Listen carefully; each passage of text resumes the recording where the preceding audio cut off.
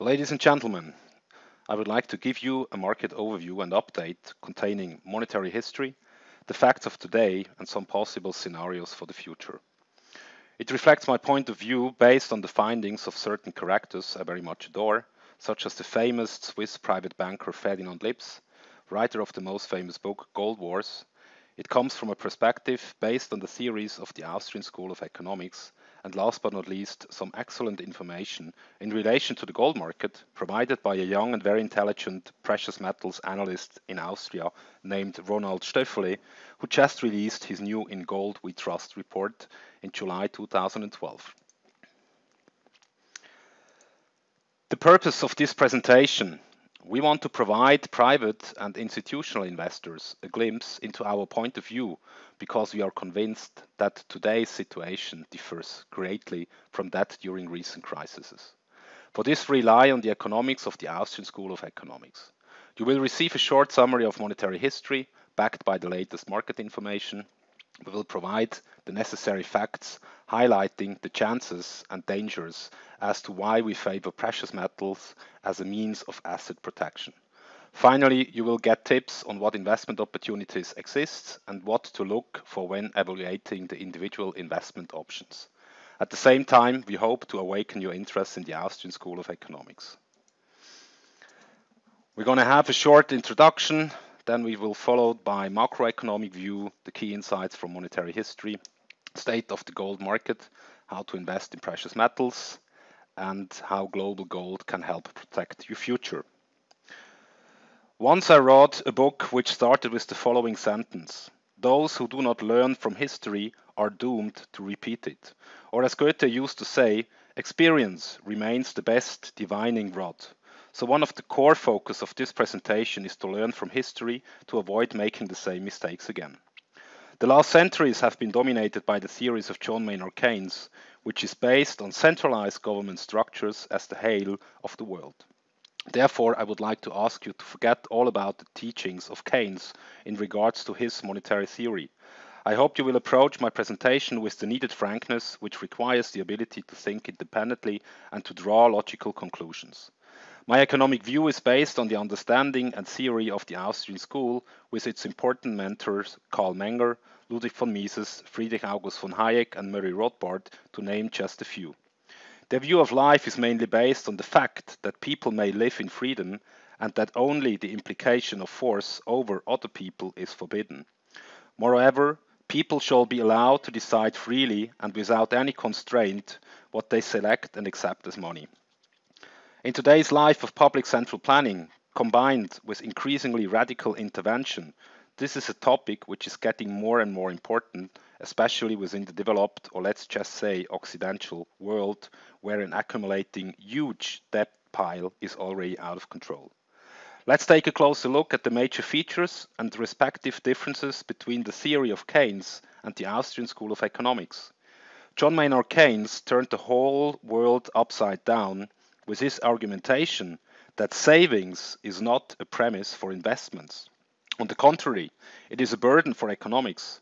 His opinion was that wise and clever planners at the central switch point would know more and that they could correct macroeconomics imbalances by manipulating market signals. That's why, in most cases, he saw a easing of lending as the only solution. This theory implies the existence of a wise government who has a large influence at every level of economics. Freedom was not a subject which kept Keynes busy. As we can see, this system enables a massive centralization of power. In this context, Lord Acton stated it best over 150 years ago power corrupts, and absolute power corrupts absolutely. The Austrian school, however, stands for private ownership, free markets, healthy money, and a free thinking society. It enables us to understand the economy under consideration of the unpredictability of human actions. No one, really no one, can foresee the future. The Austrian school takes into consideration the very important role of which people's decisions have on all transactions and explains how things are put in order despite the apparent chaos of individual actions. Conclusion The Austrian school offers the strongest defense. Striving for personal and individual happiness is key. The basic for such a society and economics is built on market money, which can be chosen by people themselves, free of any constraints or enforcement. As history shows us, such an item has to possess the following features. It has to be comparable, dividable, it has to be rare and easily transportable. Gold and silver accomplished these features the best, and this is also the reason why these metals have been the top medium of exchange over the past 5,000 years. Gold and silver have an inner value and are not dependent upon promises of debt redemption by a third party. That's why I believe that the central banking system is ultimately the root of all evil. It's wrong and insane that we stick to a monetary paper system which is based on the promise that the accumulated unpayable debts have to be redeemed by the actual and future generation via taxes and inflation. Furthermore, it is a fact that all past fiat systems have ended up in hyperinflation, having built the basis of wars and destruction. The actual system is only the longest lasting experiment so far, and at this point, we don't have anything to even compare it to. I would like to show you today the meaning of gold within a liberal social system and how it acts as a guarantor for the persistency of the most valuable good, the freedom of people. The goal of this presentation is to substantiate this short introduction with some hard facts. That's why we will take a closer look to some macroeconomical developments. Afterwards, I will talk about gold and its most important boosters responsible for the long-lasting bull market we have seen. I will show you some slides of the bull market during the period between 1970 and 80 compared to the actual situation. The idea here is to really evaluate whether gold is in a bubble or not. Last but not least, I will then provide a brief introduction of our company, Global Gold. I want you to understand not only what we do, but also which issues we consider most important in regards to using precious metals as safeguard against the possible collapse of the actual currency and financial system. Let's start with quotes from Alan Greenspan. The abandonment of the gold standard made it possible for the welfare statists to use the banking system as a means to an unlimited expansion of credit. They have created paper reserves in the form of government bonds, which, through a complex series of steps, the banks accept in place of tangible assets and treat as if they were an actual deposit, as the equivalent of what was formerly a deposit of gold. The holder of a government bond or of a bank deposit created by paper reserves believes that he has a valid claim on real asset, but the fact is that there are now more claims outstanding than real assets. And he goes further, in the absence of the gold standard, there is no way to protect savings from confiscation through inflation. There is no safe store of value. The financial policy of the welfare state requires that there be no way for the owners of wealth to protect themselves. And in the same essay he's writing, this is the shabby secret of the welfare statist tirades against gold. Deficit spending is simply a scheme for the confiscation of wealth. Gold stands in the way of this insidious process. It stands as a protector of property rights. If one grasps this, one has no difficulty in understanding the statist antagonism toward the gold standard.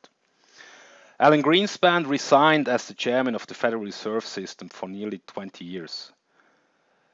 Having taken over the position starting in 1987, he had been responsible for the biggest credit expansion in fiat money in the history of the United States.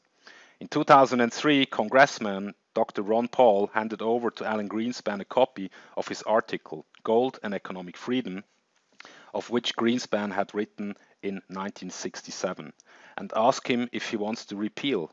The answer Green, Greenspan gave was, and I quote, I wouldn't change a single word.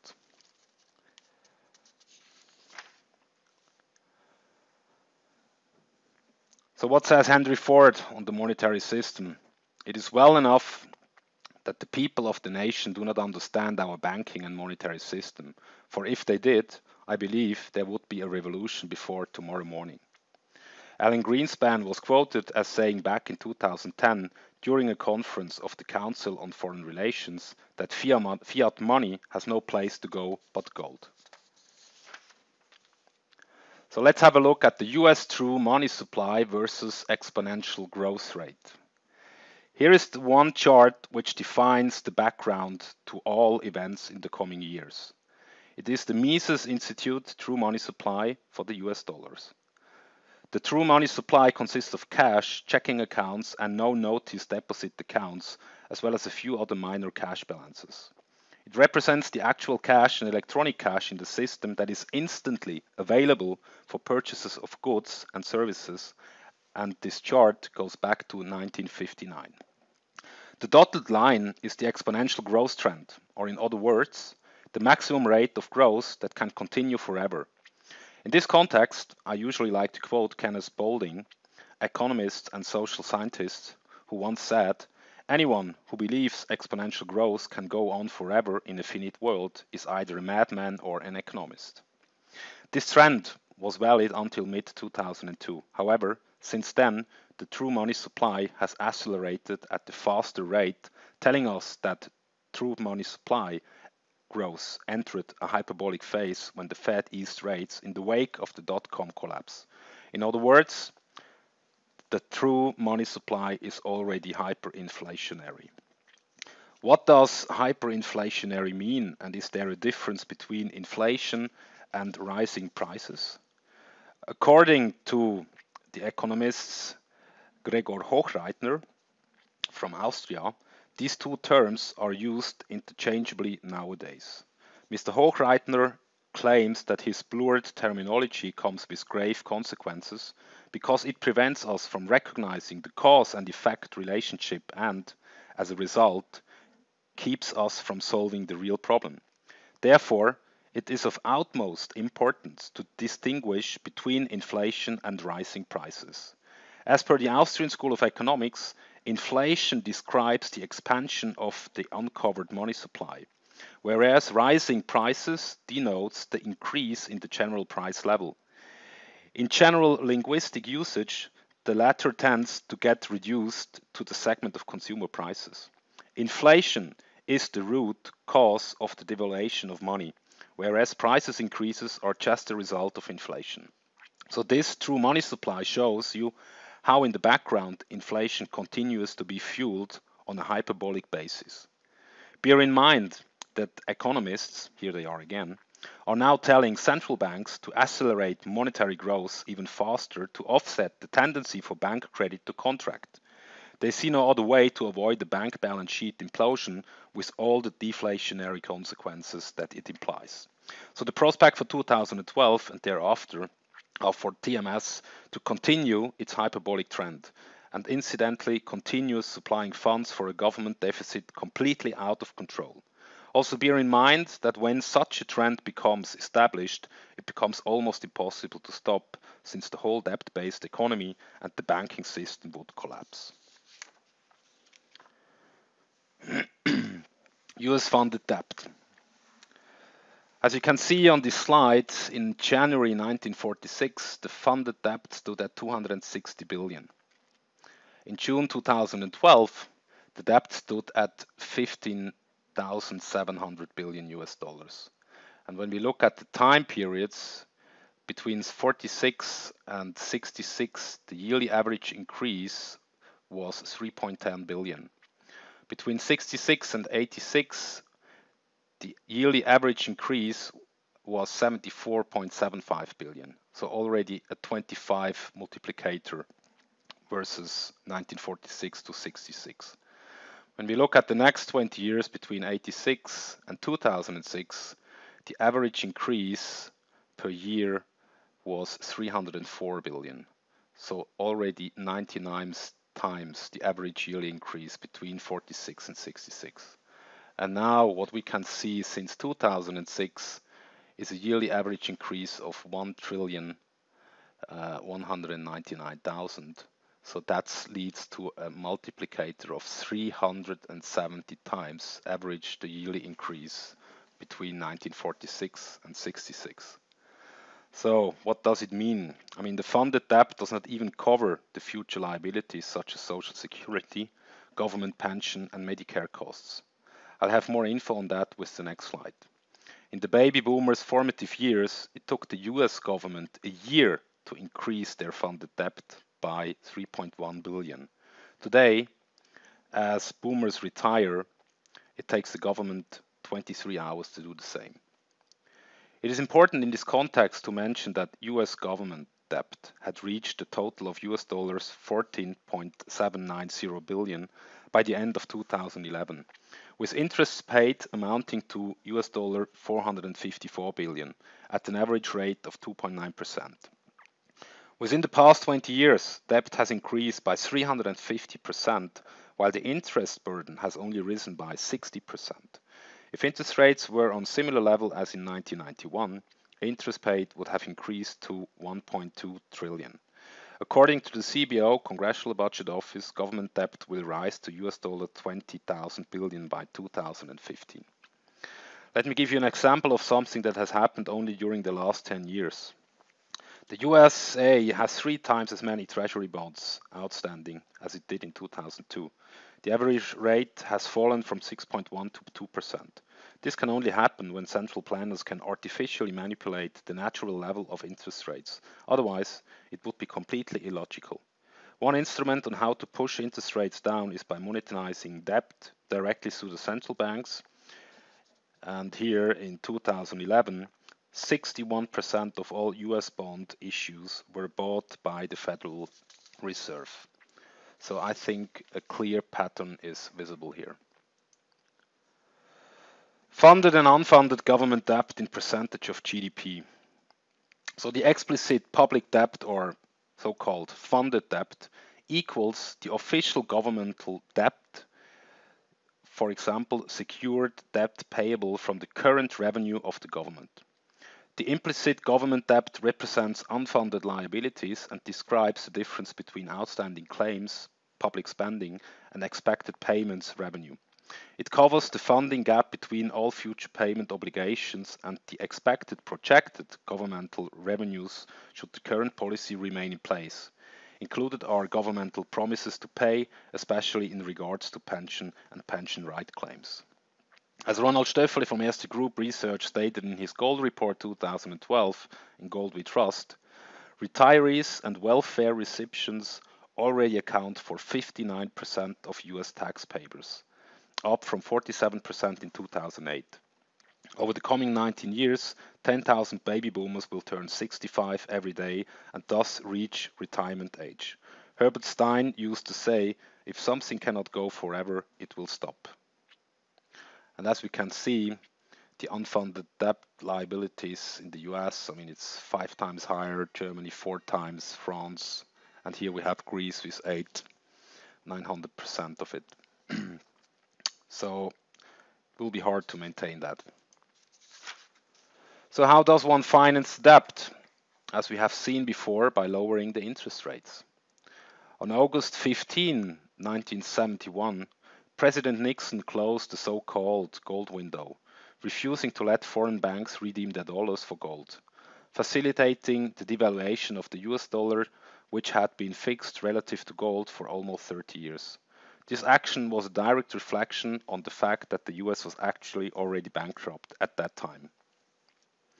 In 1973, a system of floating exchange rates was implemented and by doing so they opened the floodgate for a never before seen creation of money and credit. This led to a situation within the United States where inflation rates went through the roof and where Paul Volcker, at that time the chairman of the Fed, had to increase interest rates up to almost 20%.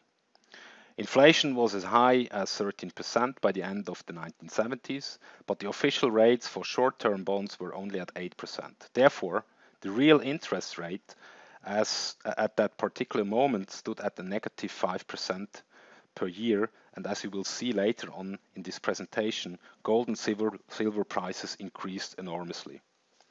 However, the difference in terms of increasing interest rates back then and now is the US total debt level.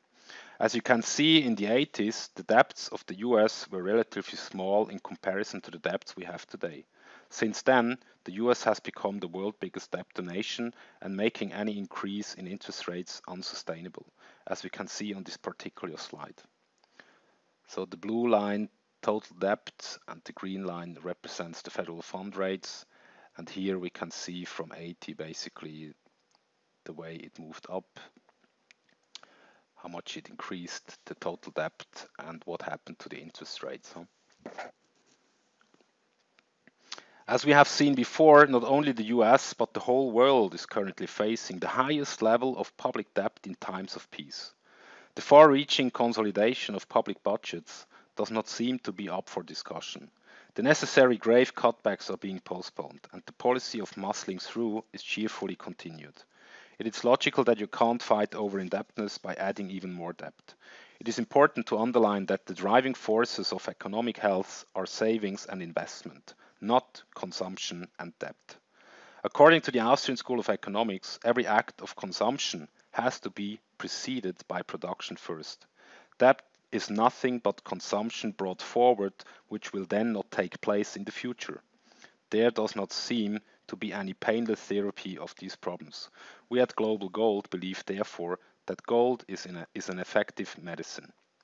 We don't expect that interest rates will be pushed up anytime soon, and that central banks will keep on flooding the market with new paper money. As a consequence, we will see a negative level of interest rates, and this will be one of the key drivers behind the rising price of gold. One word in regards to negative interest rates, they punish the savers because the value of their assets savings are going to be inflated. Only the debtors and therefore the states are profiting from it because their amount of debts are going to be inflated also. What a lousy and unfair system. Please note that we are actually facing negative interest rates as an example on two-year bonds in Switzerland, Denmark, Germany, Netherlands, Finland and Austria. And then who has to pay for it? Here you can see the YOUS unemployment rate of the industrialized nations. Up to the end of 2011, approximately 74.8 million young people worldwide, aged between 15 and 24, had no job.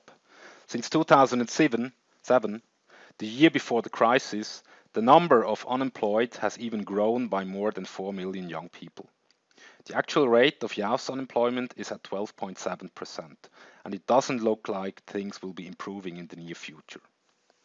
So here we can see Portugal up to 36.1%, Italy 35.9%, Ireland 30%, Greece, Spain more than 50%. Guy Ryder, Vice President of the International Labour Organization, said on April 9th of this year that, quote, this is a ticking bomb with a tremendous destructive potential which could lead to social turmoil we run the risk of losing a whole generation.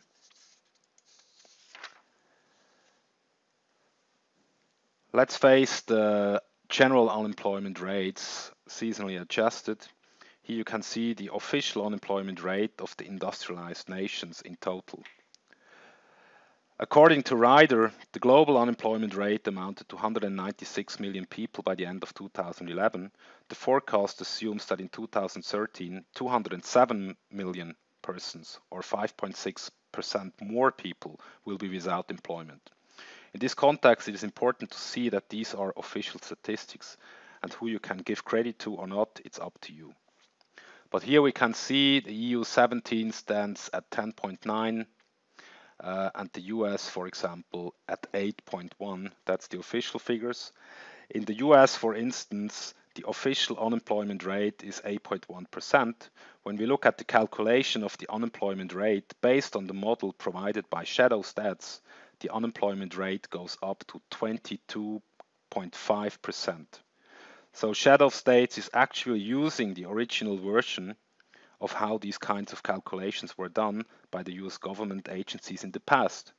Their calculation includes people who slipped through the cracks, as an example, people who were frustrated and gave up the active search for a job, or those who accepted time limited job with McDonald's or Wendy's. In one of the recent reports by the International Labour Organization, it was stated that the soaring unemployment is increasing the risk of social unrest. They came to the conclusion that in 57 out of 106 nations analyzed, the potential for social unrest was increasing rapidly. And this last slide for the food vouchers in the United States. So this slide shows the dramatic increase of citizens who depend on federal food vouchers. Actually, the number lies at 46 million Americans, which represents roughly 16% of the total population in the United States. And there is no silver lining on the horizon because the real economy continues to stagnate. Back in 06, 26 million. January 2012, 46 million. So let's dive into some monetary history facts. Um, here is, I would like to show you the length of time gold played a role in the monetary system and the steps and wars it took to abandon it. Phase 1, 1816 to 1940, the classic gold standard. Ferdinand Lips described the 19th century as a period of prosperity and economic growth without inflation. In those days, the world's major currencies remained stable over a long period. It was the age of the gold standard. The basic rule of the gold standard was a fixed price for gold, with each currency being convertible into gold at a specific rate. All balance of payments deficits on an international level were settled in gold. It was impossible for politicians to manipulate gold, and therefore it provided citizens with a currency that maintained its value. The world economy was operating to its full potential, and rising standards of living for the masses meant low or no unemployment. Because there was no inflation in this golden world of security, people could live on their savings and concentrate on cultural activities. On December 23, 1913, when most of the parliamentarians were already on their way home, President Wilson signed into law the Federal Reserve Act that created the Federal Reserve System. Phase 2, 1914 to 1918, World War I. In 1914, at the beginning of World War I, the gold standard was thrown overboard within a few weekends. In order to finance the war, the world resorted, resorted to deficit financing and paper money.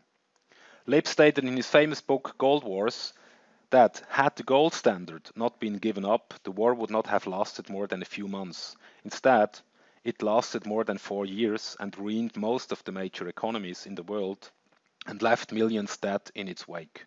It was planned to return to the gold standard after World War I, but to achieve this, the consequences would have been that all nations which have hollowed out their national currencies because of the war deficits would have needed to depreciate their own currency versus gold.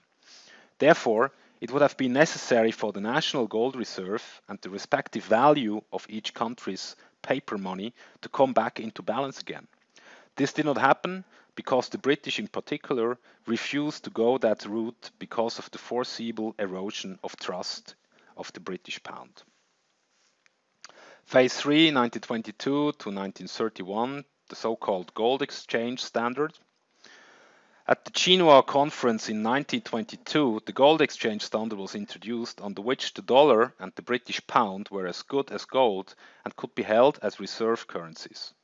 As mentioned before, it is important to note that these currencies had lost purchasing power and therefore couldn't be as good as gold.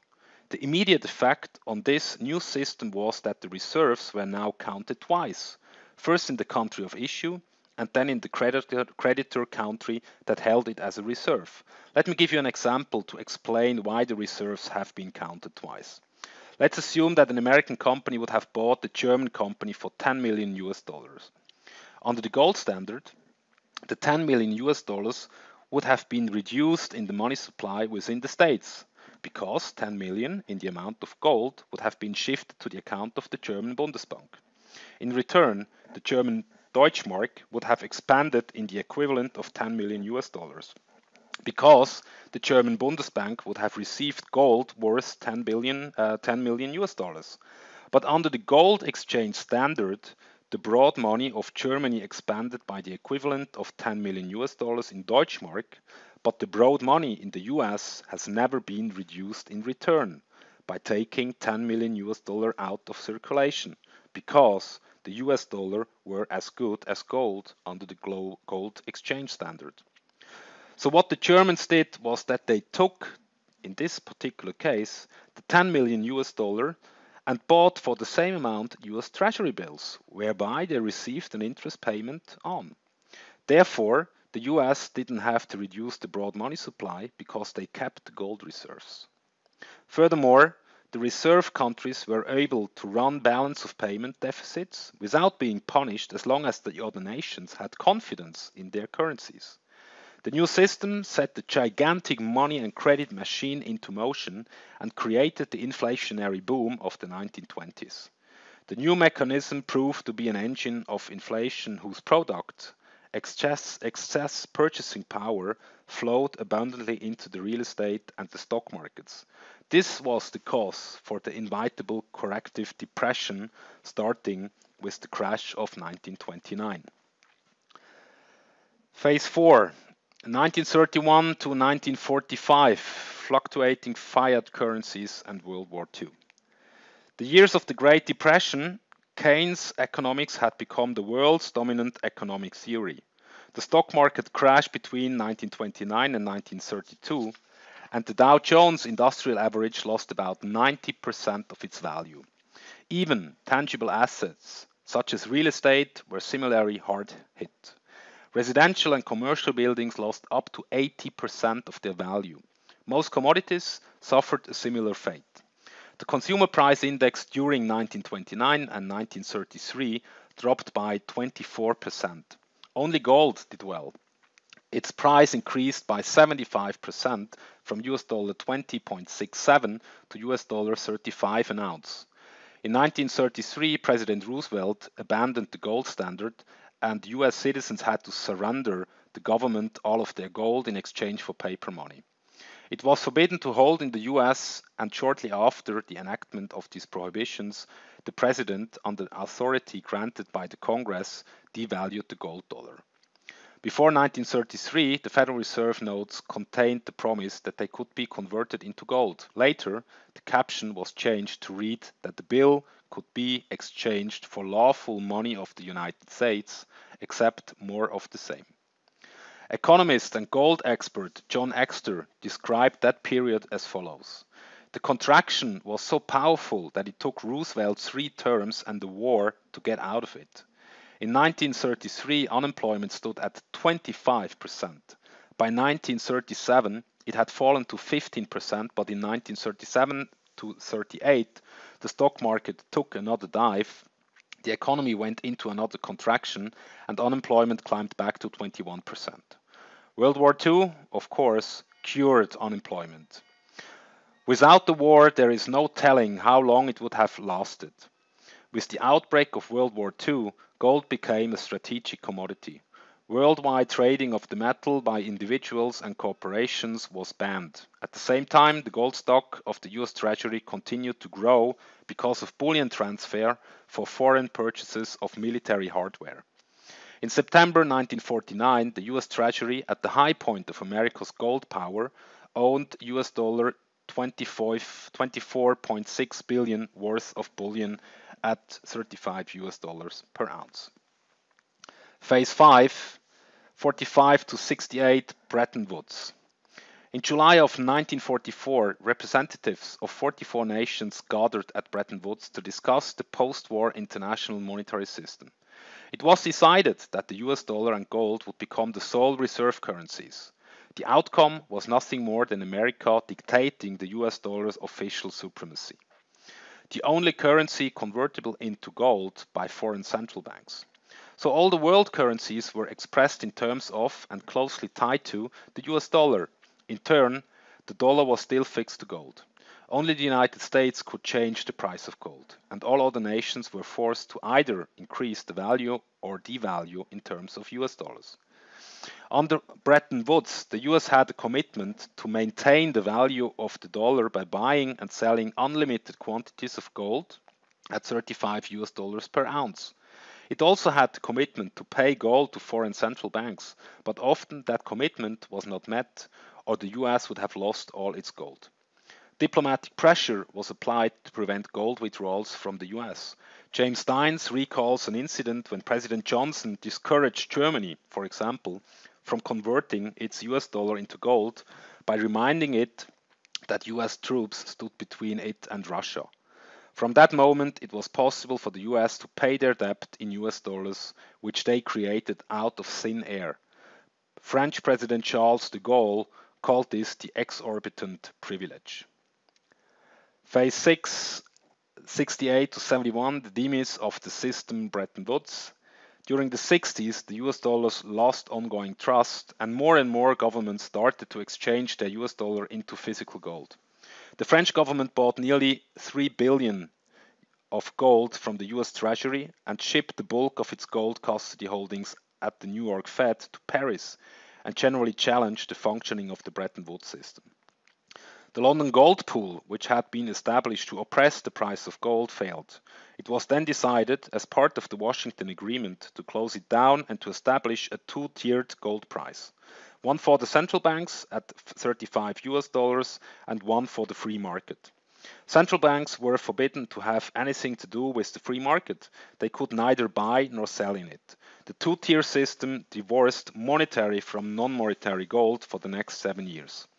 By March 1968, the US dollar gold stock had plummeted to around 10.5 billion priced at 35 US dollar per ounce versus 24.6 billion in 1949. Within the same month, the US Congress removed the 25% gold reserve requirement for Federal Reserve notes.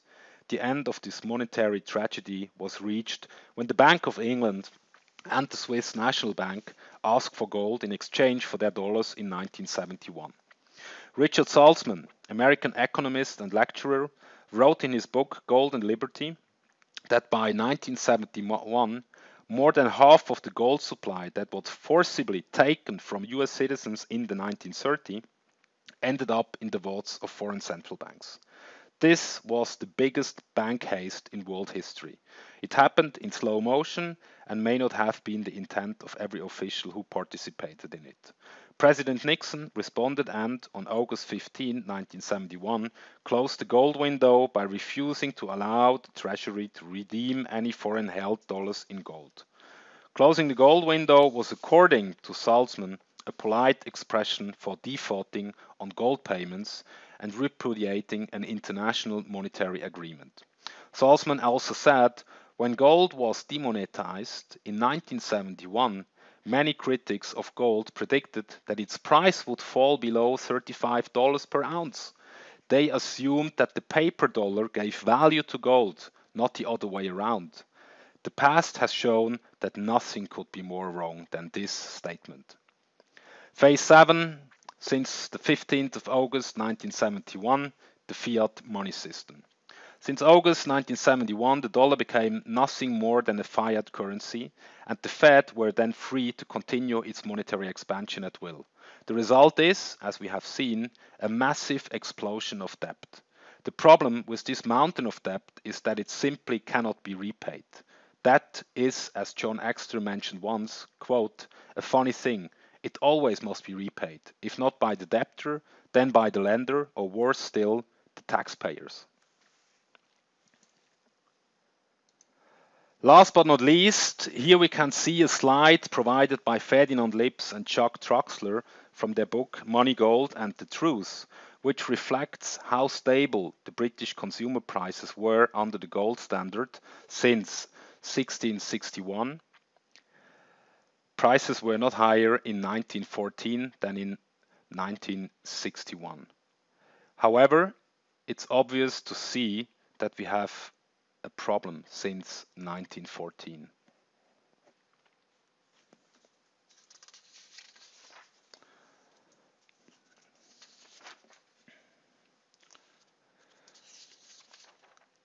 This chart shows the clearly intact downward trend of most currencies vis-à-vis -vis gold. The equally weighted currency baskets consists of US dollar, euros, British pound and Swiss franc.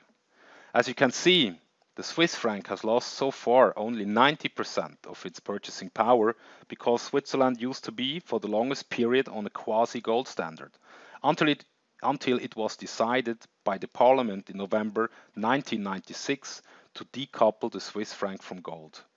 The reason for that is because Switzerland joined the International Monetary Fund in 1992 and under its laws, gold does not qualify as a monetary reserve.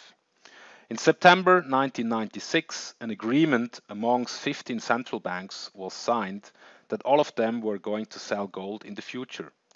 There you can see how the currency market reacted to this statement.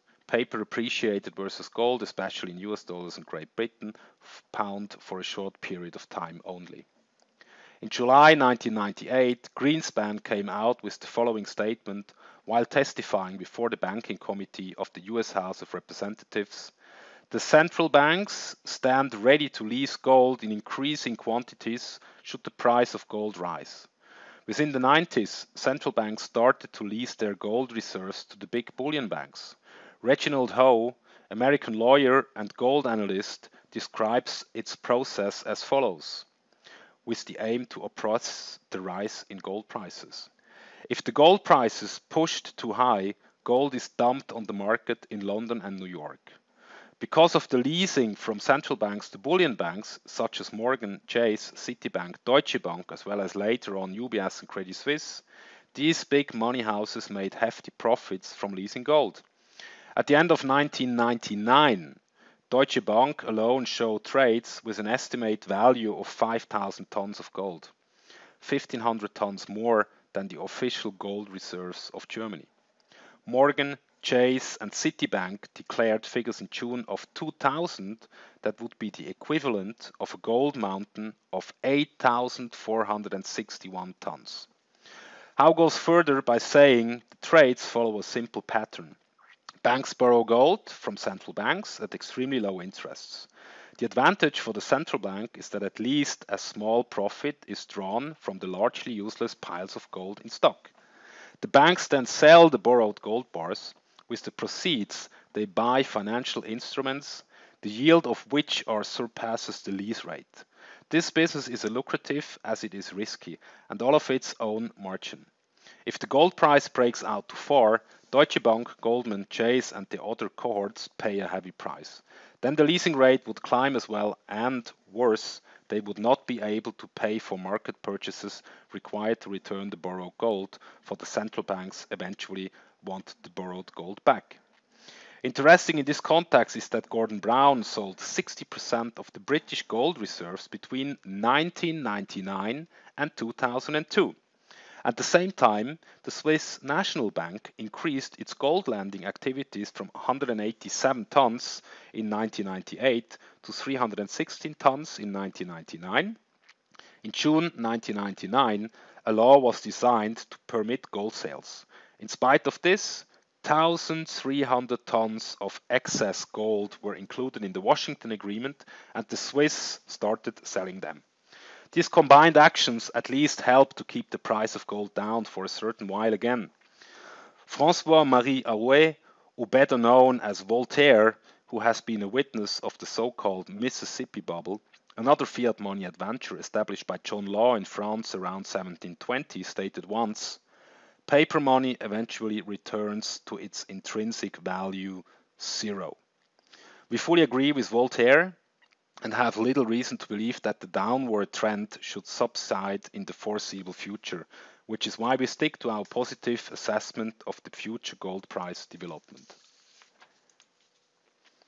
Let's have a look at the gold price increase during the period 2002 to 2012. Here you can see the prices in US dollars, euros and Swiss franc. The gold price has risen from US dollar 278 at the beginning of 2002 to US dollars 1590 by middle of July 2012. A clear and pronounced increase of 471%. Gold in euro from 312 euro to 1297 euros, an increase of 316%. Gold in Swiss franc from 460 to 1558, an increase of 238%. So, gold is the barometer that indicates that there is something wrong with the fiat currency, otherwise it wouldn't go up. This slide reflects the relative strength, or better said, weakness of each currency in which gold is quoted. That's why gold increased in US dollars the most because it is reflecting the biggest distrust in this particular currency during the past 11 years. Interesting to see on this slide is that the price in US dollars has corrected much more since its peak in August of 2011. As you can see, the price in euro and Swiss franc are approximately on the same level. This shows that the rising distrust in the euro and the Swiss franc because of the ongoing euro crisis, as well as ongoing weakening of the Swiss franc due to the intervention by the Swiss National Bank to peg the euro to the Swiss franc at the level of Swiss franc 120, have left their marks. The US dollar is still profiting from its erroneously safe haven status, and that's why the people are fleeing out of the euro and Swiss franc into the US dollar. Since August 2011 up to July 2012, the Swiss franc lost 21% versus the US dollars and the euro lost 16% versus the US dollar. But as you can see, gold kept its value in euro and Swiss franc and was not going through a correction such as the US dollar. Before we are going to judge any further if the price is too high or too low, let's dive in some hard facts when it comes to the supply and demand side of gold.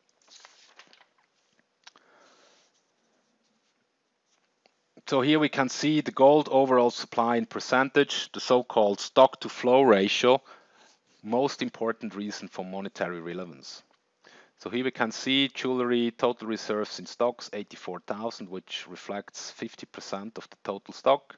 Private holdings 31,000 tons and 19%. Uh, Central banks reserve 20,000 tons and represents 12% of the total stock and others 33.6 which equals 19%. So total reserves on stock in tons is 168,000 and we have approximately 2,600 tons additionally uh, gold supply coming uh, on a yearly basis, which reflects 1.5% of the total stock. So in contrast to other commodities, the discrepancy between annual production and total available supply for gold and silver is enormous. This is called a high stock to flow ratio. The aggregated volume of all the gold ever produced comes to about 170,000 tons. This is the stock. Annual production was close to 2,600 tons in 2011, that is the flow. Dividing the former by the latter, we received the stock to flow ratio of 65 years. Silver has also high existing stock versus yearly flows of 20 years. Crude, copper, corn or wheat have a stock of a few months only. Even there we can see that gold and silver is different than a normal commodity. Ronald Stöferle, precious metals analyst of Erste Group Research, described it as follows. Gold reserves grow by about 1.5% every year, and thus at a much slower rate than any of the money supply aggregates around the world. The growth rate is vaguely in line with population growth. Trust in the current and future purchasing power of money or any means of payment not only depends on how much is available now, but also on how the quantity is expected to change over time. What does, what does that mean in numbers? If the annual mine production were to double, which is highly uh, unlikely, this would translate into an annual increase of only 3% in the supply of gold. This is still a very minor inflation of total gold reserves, especially compared to current rates of dilution of paper currency. We therefore agree with the conclusion of Ronald Stöferle that gold is not precious because it is scarce, but because the opposite is true. Gold is precious because the annual production is so low relative to the stock. Gold has acquired this feature over centuries and cannot lose it anymore. This stability and safety is a crucial prerequisite for the creation of trust. And it is what clearly differentiates gold and silver as monetary metals from commodities and the other precious metals. Commodities are consumed, whereas gold is hoarded. The demand side is made up of investors, mainly the jewelry industry, uh, industrial industry, private individual, and as we will see in the next slide, also by central banks. But this still is still only a fraction of total demand. Reservation demand accounts for the largest part of demand. This term describes gold owners who do not want to sell gold at the current price level. By refusing to sell, they are responsible for the price remaining at the same level. This means that the decision not to sell at current prices is as important as the decision to buy gold. In net terms, the effect on the price is the same. The gold supply is therefore always high. At the price of US dollars 5000, the supply of recycled gold would exceed annual production several times. This also explains why the often quoted gold deficit is a fairy tale. Do you know how much gold is being traded on average per day? According to London Bullion Market Association, 10.9 billion ounces of gold worth a total of 15,200 billion US dollars were traded in the first quarter of 2011. This equals 125 times the annual production or twice the amount of gold that has ever been produced. This leads to a daily turnover of 240 billion per day means a higher turnover than for most of the currency pairs. By comparison, the daily turnover of Apple shares is US dollars 5.5 billion. This means that gold is one of the most liquid asset classes in the world. What also has to, what also has changed since 1970 is that up to then almost 70% of the production came from South African mines. The production nowadays is broadly diversified from a geographic perspective. Gold is now produced on all continents, with the exception of Antarctica. Therefore, gold is much better anchored on a global scale. All these facts lead to an actual renaissance of gold in traditional finance. Due to its high liquidity and unique characteristics, gold is becoming ever more prominent as collateral. Along with LCH, ClearNet, Intercontinental Exchange, JP Morgan, and the CME Group and Eurex too now accepts gold as collateral. Actually, talks are held to have gold acknowledged as Tier 1 asset within the framework of Basel III. So what about the supply side when it comes to the official sector sales? What we can see here is that the central banks became net buyers. Even the central bank seems to remember that gold is money. Gold is pushed back into the monetary system again. Do you see a trend here?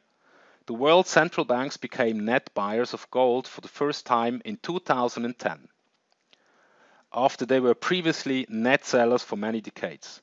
During 2010, the world central banks bought 87 metric tons of gold more than they sold. The gold supply by official sector sales fell from 545 tons in 2002 to a negative 440 tons in 2011. For many years now, central banks in the West have been the sellers, whereas especially countries in the Middle East as well as emerging markets such as Mexico, Russia, Turkey, South Korea, but especially China and India have become the buyers. We at Global Gold expect that this trend will continue with further acquisition by emerging market central banks and no significant sale by those in advanced economies.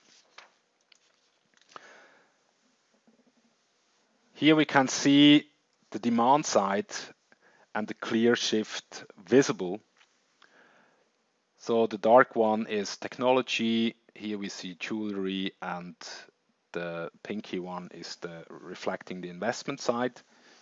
So this is a combined overview of the three gold demand forces, technology, jewelry, and investment. So what this tell us? To summarize the facts we provide here, the gold supply demand situation has mainly been influenced by gold investment demand, including official sector demand. With all other variables, they are relatively stable compared to that of the gold investment demand. In any attempt to predict the development of the future gold price, it is important to understand this gold investment compound. Here we can see from roughly 9% going up to almost 40%. The past decade was characterized more strongly by deflation fear than inflation fear. One might assume that investors didn't buy gold as an inflation hedge, what gold is actually famous known for. People brought precious metal as a hedge against all sorts of crises political, financial, economic, currency, geopolitical, etc. If one assumes that these crisis scenarios are still in place and that none of these crises have been solved, or if one even assumes that these crisis scenarios have even grown closer, bigger, or more numerous, and the reason for having a crisis hedge are becoming more convincing every day, then one might expect that gold investment demand, demand will increase and will drive prices higher. In a world long on potential crises and short on any sustainable solutions, we are convinced that it is the right thing to do to stick to gold and, for that matter, have to continue to buy more gold for quite some time to come. This is the gold investment demands uh, 2002 to 2011, isolated in this picture. So an increase of 366%. So gold investment demand has changed the most over the past 11 years, both in absolute and relative terms. It changed from 352 tons in 2002 to 1,641 tons in 2011, an increase of 1,289 tons, and it changed from 10% of the total demand in 2002 to 40% of the total demand in 2011, an increase of 30 percentage points. So, is gold in a bubble?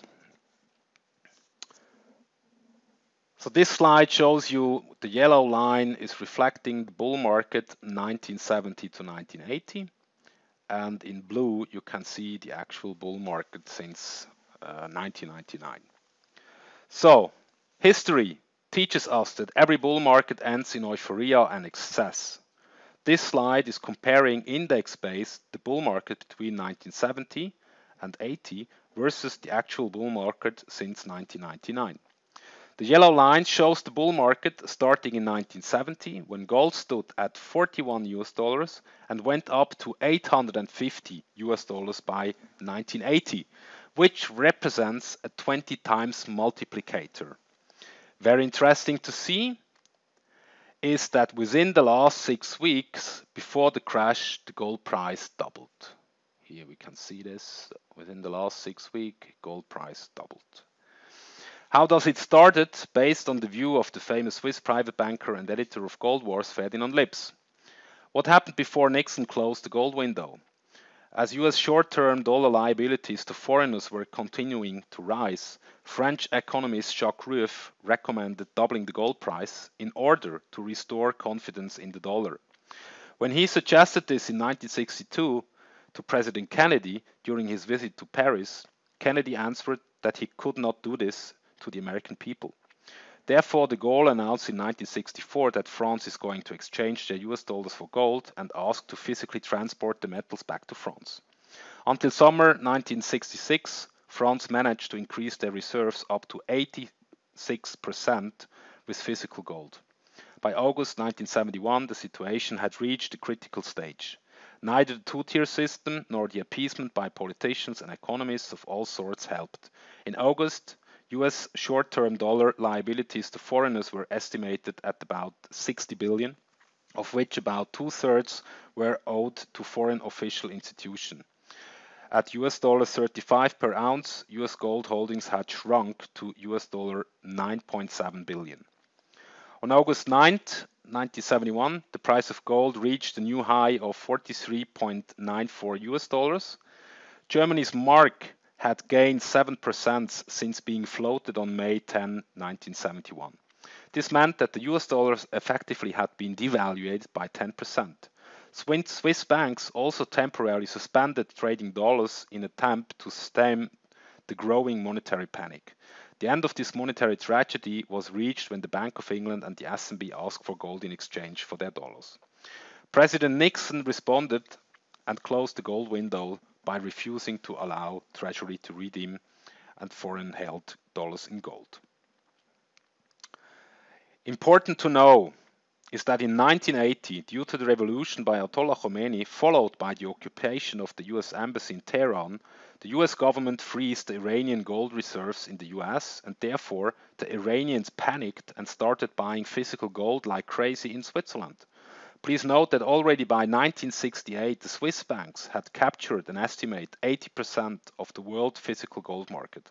Not only could they offer the most modern banking facilities, but each of the big banks also had their own precious metals refinery. From then on, Zurich was the biggest gold trading center in the world. London only began to regain some of its prominence with the launching of the gold future markets. Let's get back again to the situation in 1980. In addition to the Iranian crisis, riots took place in Saudi Arabia and at the Mosque of Mecca. Within the same period, the famous Hunt brothers were purchasing all physical silver which was available unfortunately financed with bank credits, which braked their neck later on. So all the events basically led to euphoria and excess in 1980. The blue line, however, is reflecting the actual bull market since 1999 up to the end of 2011, which represents a multiplicator of 4.5 times. It's a complete different picture. Notwithstanding the above, I would like to underline that gold was pushed out of the monetary system by the end of 1980. As we have seen before, gold is being pushed into the system again because of the ongoing purchases by certain central banks and because of the fact that the investment demand for gold in general has increased tremendously. Therefore, we are convinced that gold will play a key role in the future monetary system again, and prices will therefore increase further because the value of all the fiat paper money will depreciate due to ongoing exponential expansion in true money supply. Interesting is also the fact that in 1980, 23% of the world's total assets were parked in gold at the price of $850 an ounce and 14% in silver based on its highest price of 50 US dollars per ounce. At the end of September last year, gold reflected only 3.6% of the world financial assets at the price of 1421 US dollar and silver stood for 0.7%. These are facts that show that the upside potential of physical gold and silver is still tremendous. So to conclude, we don't see a bubble in gold, and the only similarity to the situation in 1980 versus today is that we are again confronted with a possible extremely dangerous conflict in the Middle East and Iran in particular. The Iranian banks were kicked out of the SWIFT system a few months ago and are now trading oil and gas with India in gold. The last time another country tried to bypass the US dollars was Iraq under Saddam Hussein. I'm convinced that this led to the US invasion, which has been justified to the Western world based on evidence which turned out to be all lies and rumors without any substance at all.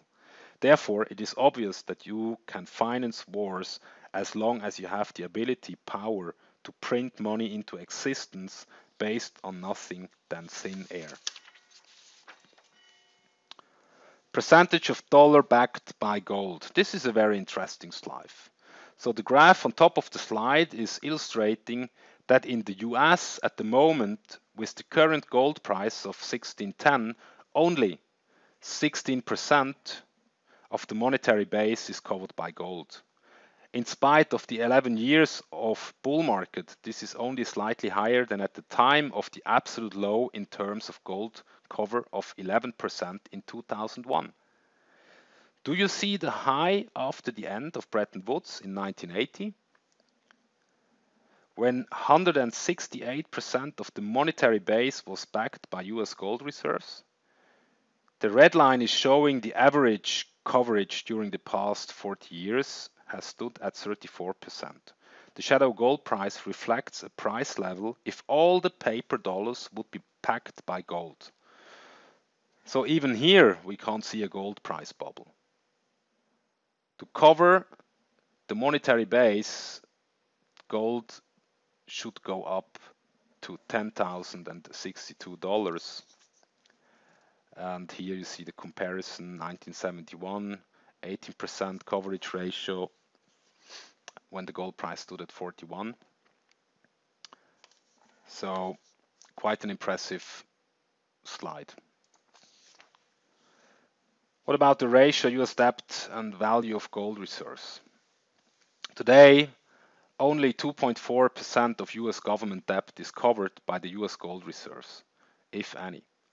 As per Ronald Stöferle from Erste Group Research, this is substantially below the long-term average of 4.9%, with the red line. If the gold price were to double or the government debt were to drop by 50%, which is rather less likely, the coverage ratio would only match the long-term mean. Only at the price of about $16,000 would the ratio reach the highest of 1980. In other words, long-term bull markets never end around averages, but always set extreme values vis-à-vis -vis other asset classes at the end of the trend. This supports our argument that gold is still attractively valued and that the gold price has not entered into its final trend acceleration phase yet. What about Dow Jones and the gold ratio since 1900? So this is another slide from the famous gold report of Ronald Stöferle, Erste Group Austria. The Dow Gold currently stands at 7.8. The ratio is currently above the long-term median of 5.8. This means that gold is still relatively inexpensive in comparison with the Dow Jones index. However, it is not dirty cheap anymore, but as mentioned before, bull markets tend to end in euphoria and excess, which is why a substantial lower ratio is expected. In 1932, the ratio was 2, and at the end of the last bull market, the ratio was 1.3.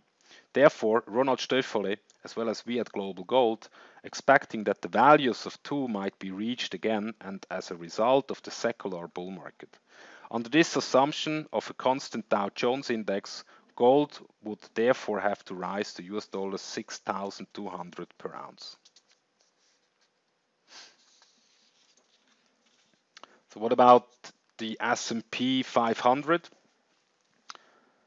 Ronald Stöferle has also compared gold versus the S&P 500, whereby the current ratio stands above its long-term median of 0.88.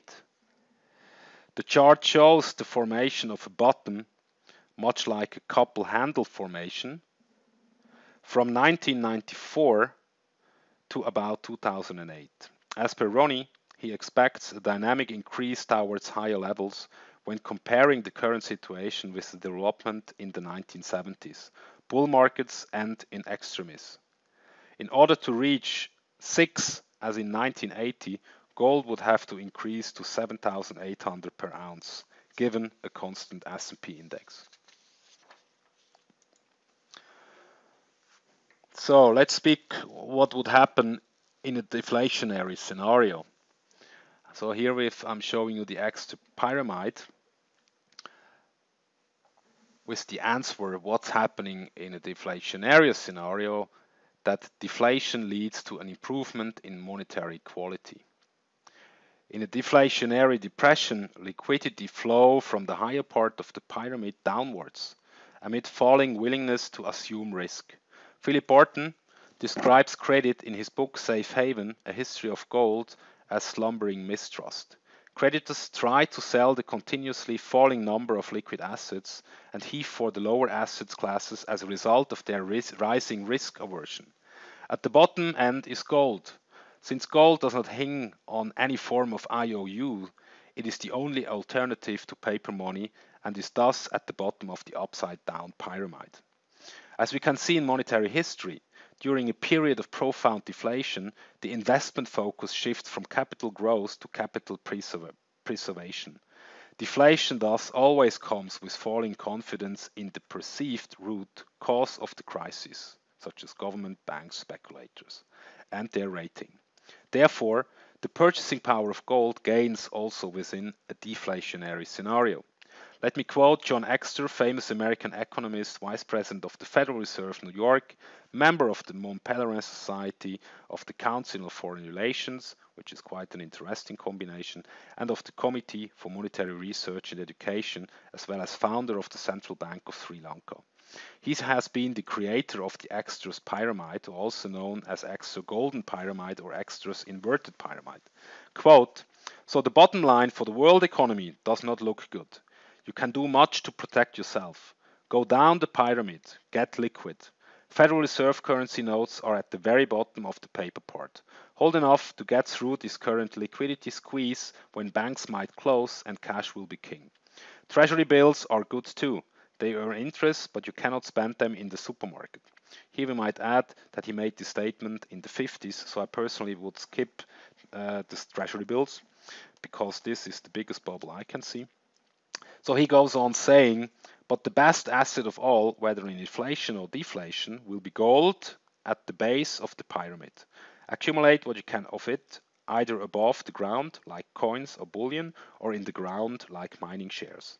In summary, an increase in prosperity and growing confidence would then boost willingness to assume risk again, causing a gradual inflow of liquidity from the gold sector into the higher segments of the pyramid.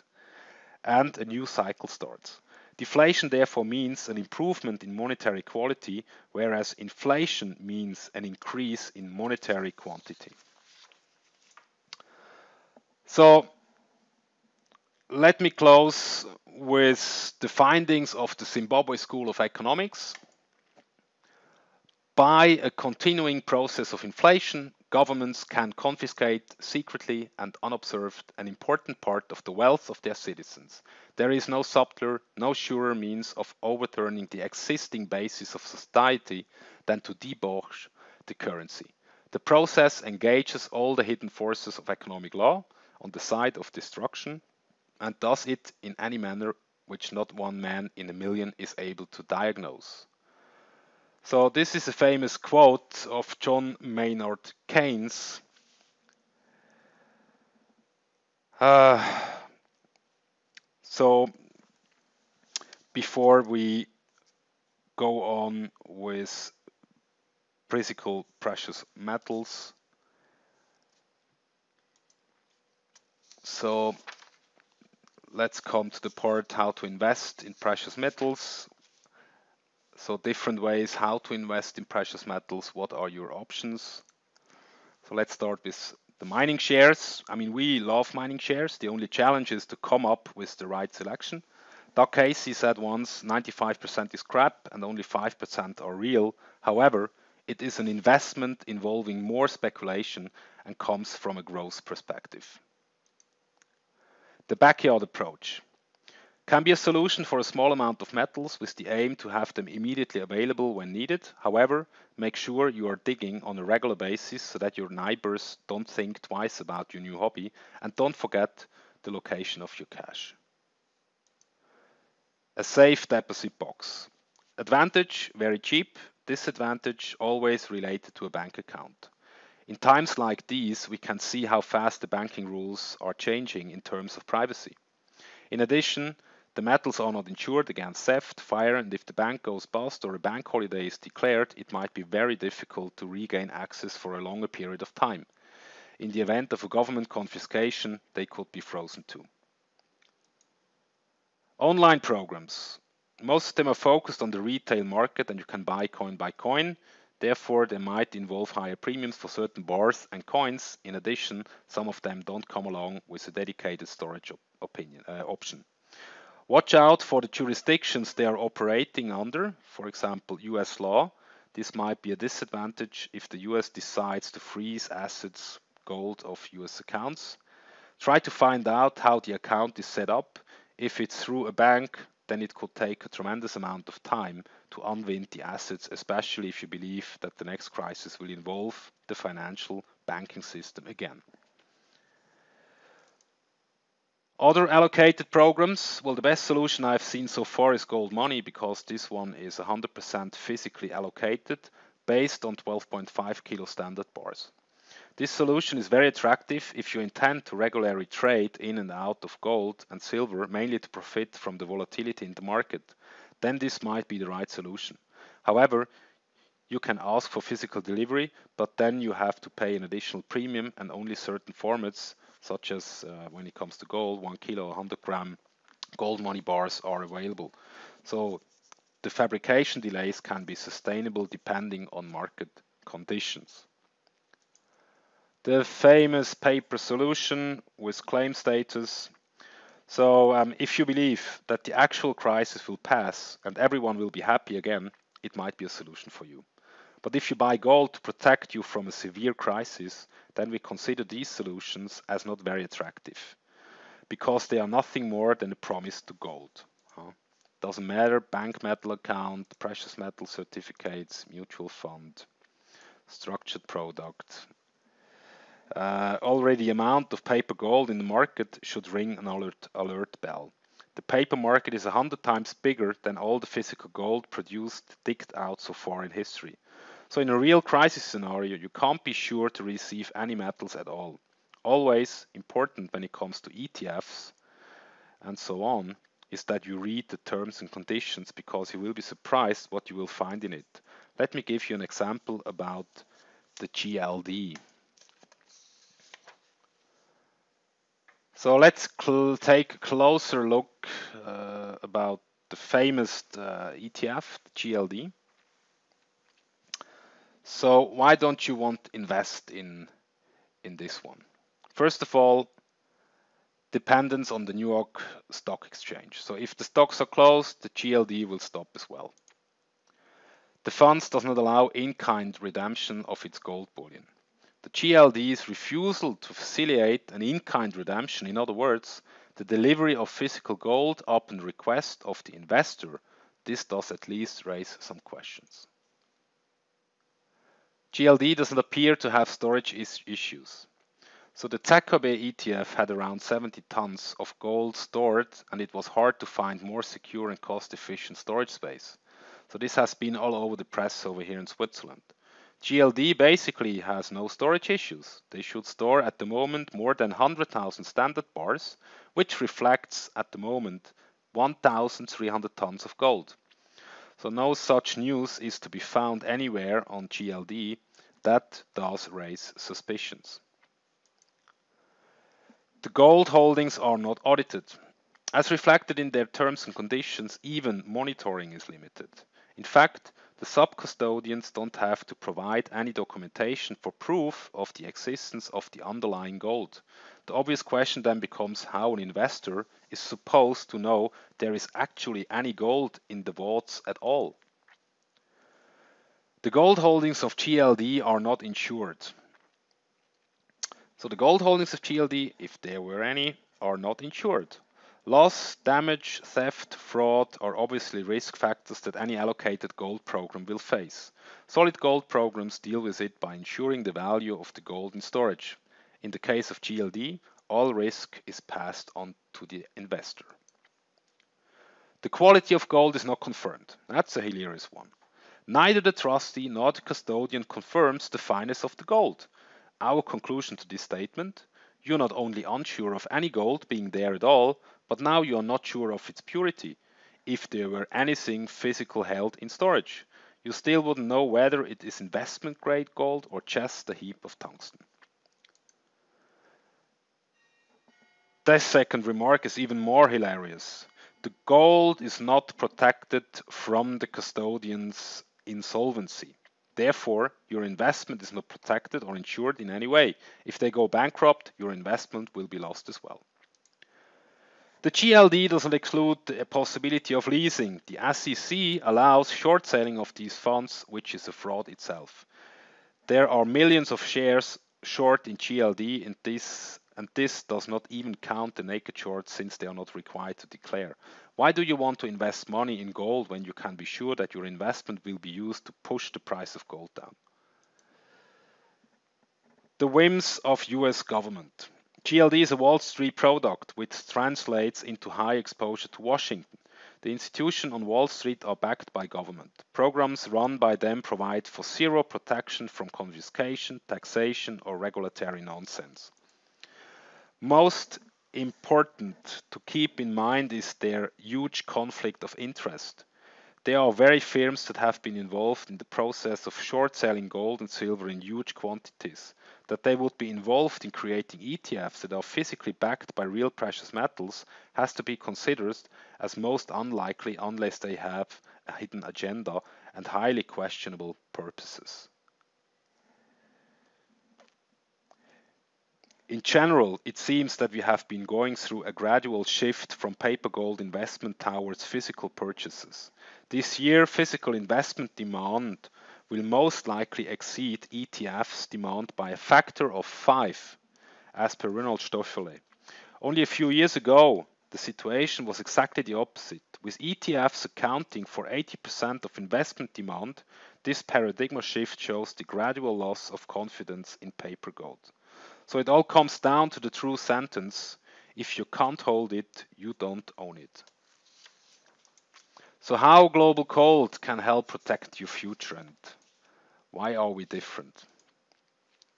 So, who is Global Gold? We were founded and registered as a Swiss corporation in 2008.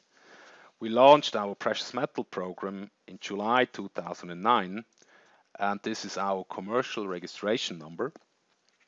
We are regulated by Swiss Financial Market Authority, so-called the FINMA, via VQF membership registration number 12808.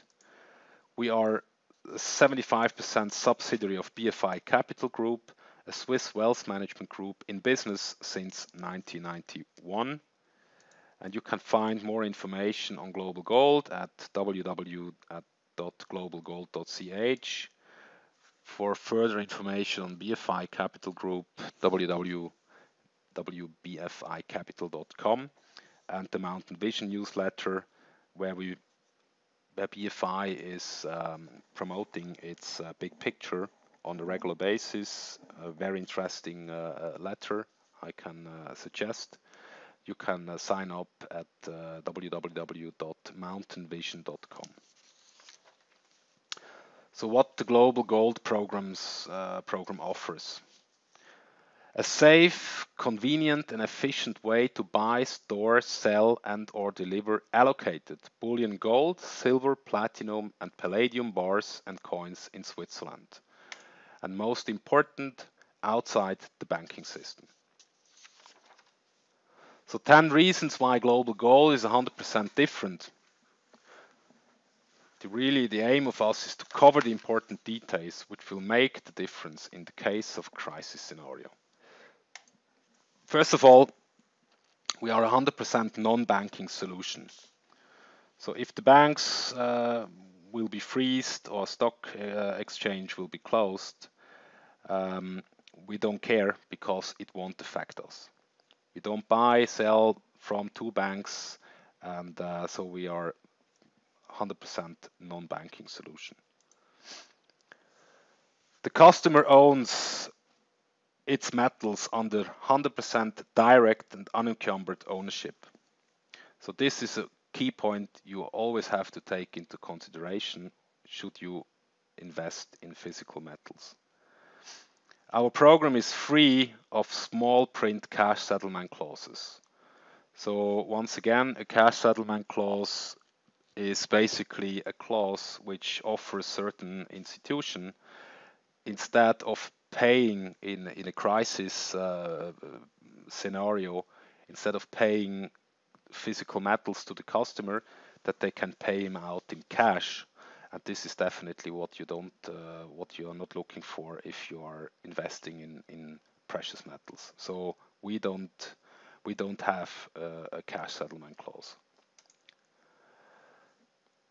we are 100% uh, offering high security storage locations. For the time being, we are offering it in Zurich and Hong Kong. And within the next few weeks, we will also offer high security storage in Singapore. So 100% the metals are insured and audited. 100% physically stored investment grade bullion coins and bars. And I think most important when it comes to that, we buy from the beginning the metals in the format of your choice. So if you want to buy Kruger or Maple, we go out into the market and buy on behalf of you the Krugers and the and the, the maple leaves. So in the format of your choice, so that whenever you basically would ask for a delivery, that we can do it without any delay. So all the metals are 100% deliverable at any time. So no additional uh, minting down. Uh, so all the metals are there and they are fully yours. So you can trade, um, sell and buy 100% tax free even when it comes to silver. Um, so only if the metals are leaving our setup at the tax-free zone, uh, then you would have, for example, on silver, you would have to pay 8% VAT if you pick it up here in Switzerland, or it's uh, up to the to the uh, VAT regime of the respective country we would have to ship in uh, based on your instructions. But otherwise, you can buy, sell uh, gold and silver uh, tax-free. So we are offering 100% competitive pricing. So we buy at the institutional level and we are 100% Swiss. And I think even uh, when it comes to property rights and to Switzerland as jurisdictions, in terms of property rights, we believe that operating under Swiss law is still a huge uh, uh selling point. And because of our decentralized political system based on federalistic structures, we also consider still the place to store precious metals, the, the, safest place to store precious metals for the time being, still in Switzerland. In addition, we have also a process in place which allows our customers to deliver their physical uh, and already purchased metals into our program for further details, you can get in touch with us. So we are convinced of the absolute necessity to safely keep part of one's asset in physically allocated precious metals, particularly gold and silver. A growing number of savvy investors recognize that the world's financial system and fiat currency model exhibit flaws that require prudent precautionary measures. They want to acquire and safely store allocated precious metals in a secure location, from where they can be delivered anytime and everywhere, anywhere, or from where they can be sold promptly and conveniently when the time is right. Global Gold was founded to offer its client a solid solution that addresses precisely these objectives. It was founded for the purpose of offering a solution that works and meets their clients' expectation even and particularly during a severe financial crisis. So with us, as I mentioned before, you can purchase uh, a wide array of recognized formats. We offer the most liquid and famous coins and also bars. Uh, it's all investment grade um, and you can buy with us gold, silver, platinum and palladium. Global Gold fees we are offering a tailor-made pricing for private and institutional customers in terms of uh, brokerage and storage fees. And our attractive and highly competitive pricing is based on a sliding scale. So for further information or a tailor-made offer, please contact Global Gold. So this is the end and I would like to thank you very much for your attention. I hope I was able to provide you with some insights uh, which have been uh, useful to you uh, for your decisions or for your big picture when it comes about the next few uh, months and years. Wishing you a very good day. Uh, all the very best, Claudio Grass.